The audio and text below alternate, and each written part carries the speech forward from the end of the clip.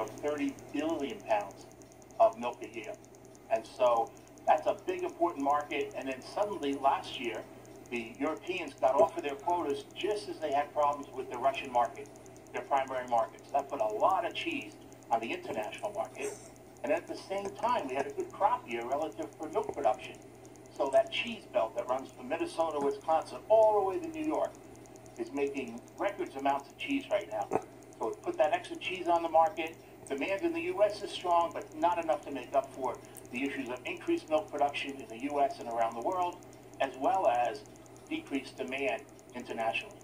Put this in perspective for us. When's the last time you saw a cheese glut like this?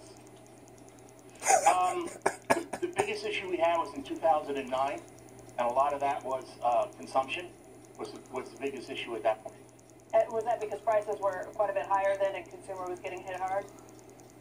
No, I think it was the economy, and uh, people were changing over some of their eating habits, trying to go to cheaper proteins and other Uh, things.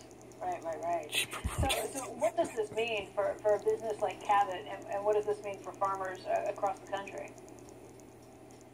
Well, um, for farmers, it's been a very tough situation because USDA uses cheese prices as one of the primary movers to set the price back to farmers. So they're getting some of the lowest prices they've also had since 2009. Um, it hasn't been so bad for the larger farms because they have economies of scale.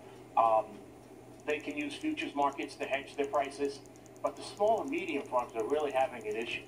Um, as for Cabot right now, we're owned by dairy farmers. Anytime our members struggle, uh, that's a problem for us. Um, we do make naturally aged cheddar. Yeah, I was going to say, a lot of your stuff, is- the longer it's aged, the better it is, the more you can charge for it, right? Yes, that, that's a good point on, on doing that. And, our, and, and, so the, the cheese that uh, is being sold today it was made anywhere from a few months ago uh, to a few years ago. Um, so probably made in 2014, 2015.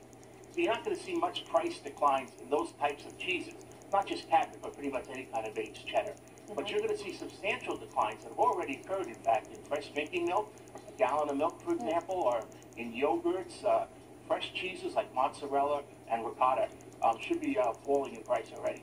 What are you all doing as a result for, for some of the things that you can hold off the market for, for cheddar? Do you, do you end up aging more of it over a longer period of time, just as a, an economics uh, uh, example in supply and demand?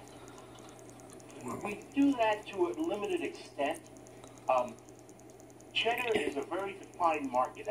You'd have to talk to some of our master cheesemakers, but they would tell you that they taste they, they, they test that cheddar every couple of months.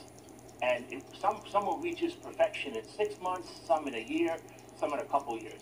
So you, it, it's naturally aged, so you can keep it a little longer. But in doing so, you got to make sure it, keeps that sharp, uh, great taste. Sure. And how, how do you see this playing out, or how do you see this situa- situation resolving? Well, I think it's going to be supply and demand have to move back in alignment. Uh, the pressure of the lower prices on farmers should, should start to curtail some of that milk production, both here and in Europe.